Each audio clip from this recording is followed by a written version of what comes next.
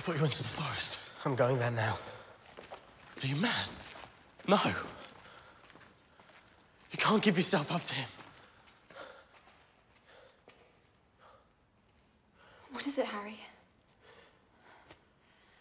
What does he know?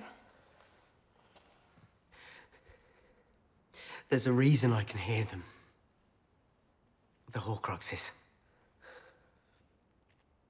I think I've known for a while. And I think you have too.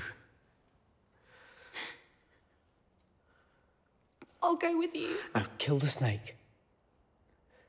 Kill the snake, and then it's just him.